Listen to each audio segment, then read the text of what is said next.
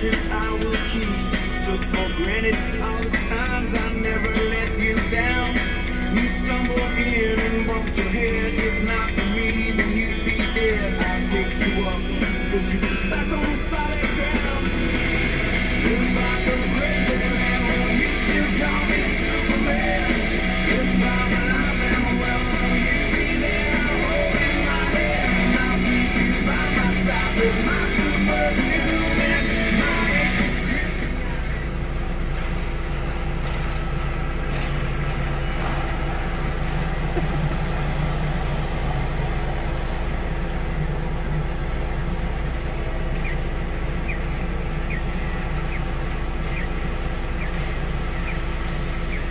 Very nice. High five.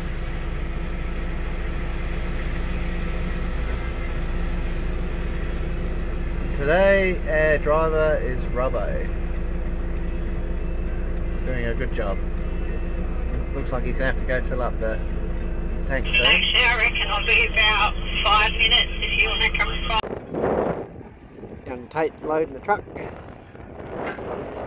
I'm uh, off the stacker. Telehandler now. Grant's driving that.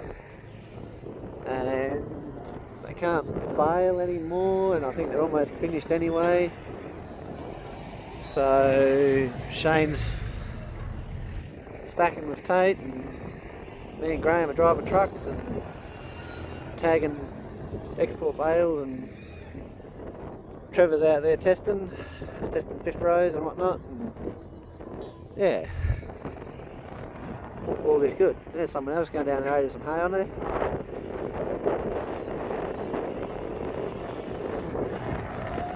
Looks, like an Argosy or something. Anyhow, young, young Tate's doing a good job.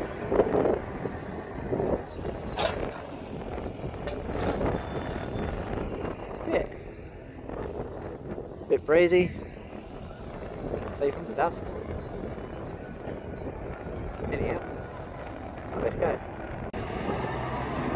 Look at this. He hasn't even pushed the back up yet. He's he's pushed them in far enough, loading it on there that he hasn't doesn't need to push the back up. He's done a top job.